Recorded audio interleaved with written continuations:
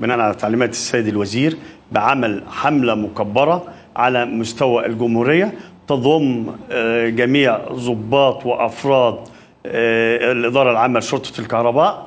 فقمنا بالحملة آه، على- جميع أنحاء الجمهورية. وفي الحمله ديت لمدة 15 يوم. إلى جانب سعادتك كمان إن الحملة ديت لما بتنتهي بيبقى في حملات تانية مستمرة. يعني إحنا في حملات بصفة دايمة يعني مش مش الحمله دي فقط يا فندم.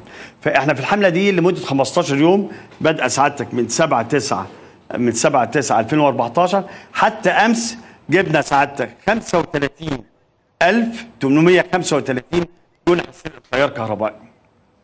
يعني جبنا فيهم ال- العدد الكبير الضخم ده من سرقه التيار. طبعا القضايا ديت بتساعد على إن بتقلل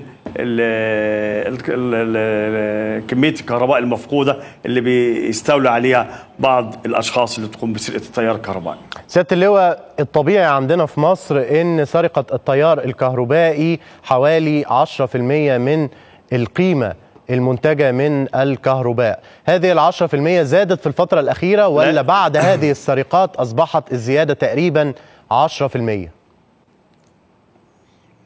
لا أنا عاوز أوضح لسعادتك إن الفاقد تقريبا 10% بس مش لسرقة التيار بس يا فندم. الف- الفاقد لثلاث أشياء.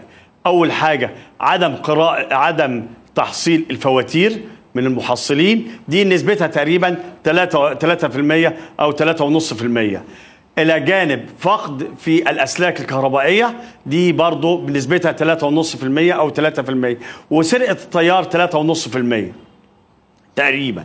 سرقة التيار عشان يبقى عن 3.5% سعادتك. عل... ممكن حضرتك يا فندم تشرح آه، لي أيوة فندم. إيه هي ظواهر سرقة التيار بالأمثلة؟ أو ظواهر سرقة التيار سعادتك بتختلف من مكان لم- لمكان. فمثلا إحنا شفنا في بعض المحلات الكبيرة وإحنا في الحملة بتاعتنا إن بعض المحلات بتقوم عمل عمل زرار في المحل بحيث إن هي تقفل عن العداد. يبقى ال ال ال ال الكهرباء منورة جامعها بره العداد. العداد ما بيعدش. دي آه، نوع من أنواع سرقة التيار وفي نوع تاني بيجي على فازة من العداد ويخفها بحيث إن العداد ما يعدش بكامل طاقته. يعني بيعد بنص طاقته أو آه، تلتين طاقته. دي كلها ظواهر من ظواهر التيار وفي طبعا السرقة المباشرة اللي بتيجي من ال ال الأعمدة على طول أو من التيار المباشر على طول تدخل على المحل أو على المصنع أو على ال- المنزل للسرقة.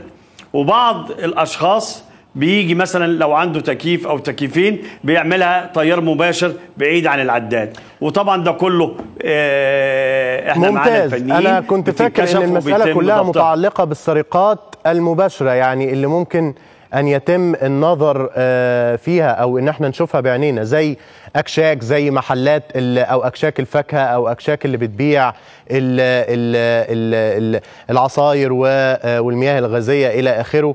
دي ظواهر بتؤدي لسرقة التيار طيب أنتم بتعملوا إيه يا فندم علشان السرقات غير المباشرة؟ يعني هل تكفي بين قوسين الحملات اللي بتقوموا بيها لإعادة ضبط هذا الأمر سواء كان في محلات أو في عقارات؟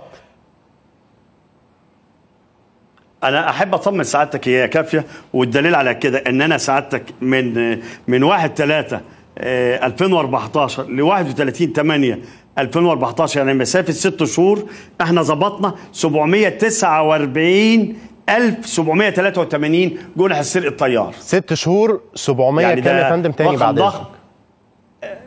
749000 783 749783 سرقه تيار ما بين سرقات مباشرة ولا مباشرة وغير مباشرة؟